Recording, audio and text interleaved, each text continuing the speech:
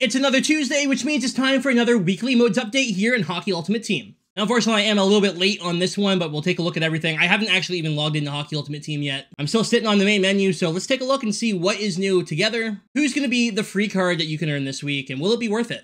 Well, first off, I guess we have our free pack, but obviously not going to get anything in our free pack, a couple of 71s. And the new weekly modes update is for an 84 and 82 overall Brandon Carlo of the Boston Bruins. That could be really good, right? We've gotten a lot of forwards already this year, but not really a lot of defense, so this could be a good card. I mean, he's good defensively, right? Six foot five, right-handed defenseman. This is the 84 overall version. Defensive defenseman synergy. He has 84 endurance with that on. His body checking goes up to 91, and the stick checking's at 93. He's not the fastest skater, but at six foot five, I feel like a lot of people will be pretty happy with him. Hands suck, shots not great.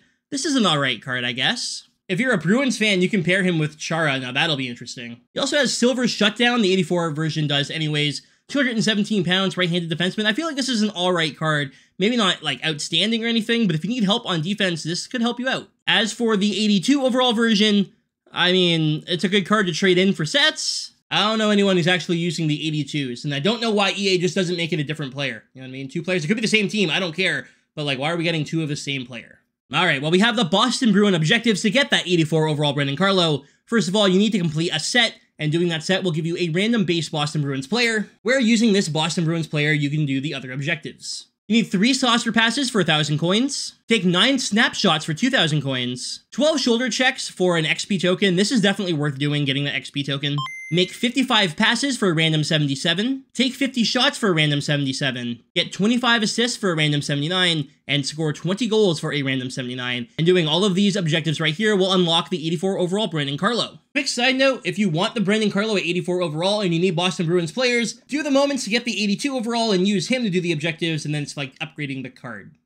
Kinda to get the 82 overall Brandon Carlo, it's very simple, right? They got rid of like all the win the game objectives and stuff like that. So the moments are a lot easier. The first one here, get four body checks with any player and you'll get a weekly moment pack. Take three perfect one-timer shots for a weekly moment pack. Score two goals with any player for a weekly moment pack. Perform five dekes with any player for a weekly moment pack. And finally, on All-Star, you need to win the game against the Boston Bruins. You'll get that 82 overall Brandon Carlo. If you score three goals with any player or get three shoulder checks with any player, you'll also get a thousand coins apiece but it is on All Star. It's a full game, two minute periods. Super easy to get these done. Worth doing, in my opinion, for the 82, the coins, the packs. You never know what you're going to get.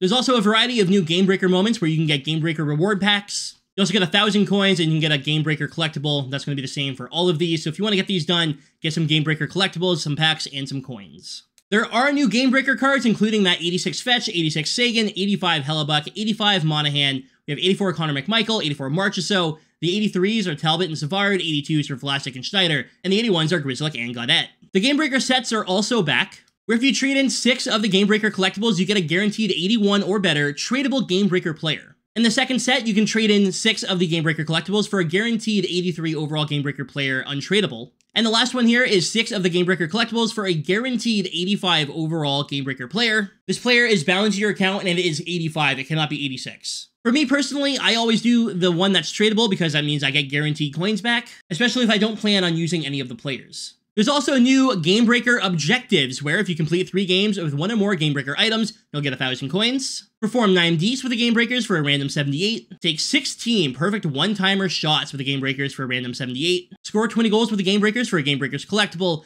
and complete 25 games for the Hut Game Breakers collectible. If you complete all of these, you'll get the 81 overall Liam Greentree. Where's a Spitfire favorite? Let's go. Just want to point out, it is important to note you need to complete 25 games, but the more of the Game Breakers you have in your lineup, the faster you'll get it done. If you have four of them in your lineup, it would only take you seven games as opposed to 25. We also have new transactions cards today, including an 86 Shea Theodore and an 85 Jake Neighbors. There's that 81 overall Olli Maatta, who is no longer a Detroit Red Wing. And to finish it off, we also have some new off-the-charts players. 85 Binnington, 85 Doug Gilmour. There's a Arber Xhekaj up there at the top. That could be pretty cool. And hey, don't forget to head into the store. Scroll all the way to the end, all the way up the... What the hell are all these packs? All right, we got to look through those. We have our off-the-charts daily pack, a guaranteed 70 or better. It's absolutely free, and this is the time where I get something good. I'm still waiting. I'm still waiting. 71, Michael Rapek. For new packs, we have the NHL Players' Choice Pack. Select a total of 8 current NHL or NHL alumni over 4 rounds. It costs 75,000 coins, 53% chance add an 80 or better. We have the Player Choice Pack. Contains a choice of one of two 77 overall current NHL players and a choice of one of two, 80 or better.